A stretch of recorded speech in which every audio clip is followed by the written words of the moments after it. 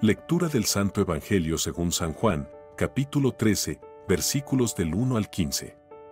Antes de la fiesta de la Pascua, sabiendo Jesús que había llegado la hora de pasar de este mundo al Padre y habiendo amado a los suyos, que estaban en el mundo, los amó hasta el extremo.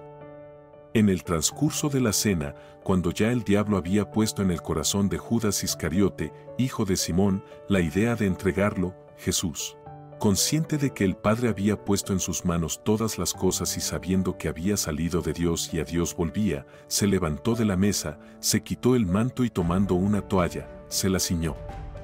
Luego echó agua en una jofaina y se puso a lavarles los pies a los discípulos y a secárselos con la toalla que se había ceñido.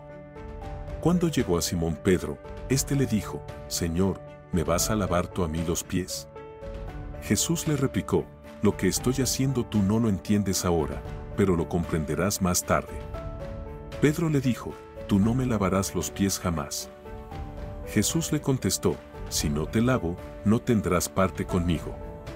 Entonces le dijo Simón Pedro, en ese caso, Señor, no solo los pies, sino también las manos y la cabeza.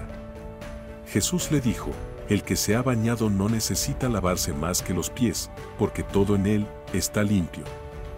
Y ustedes están limpios, aunque no todos. Como sabía quién lo iba a entregar, por eso dijo, no todos están limpios.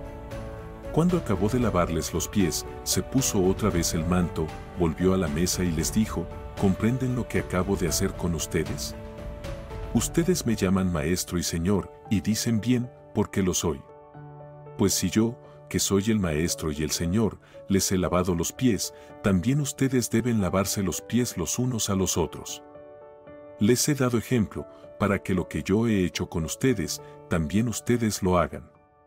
Palabra del Señor.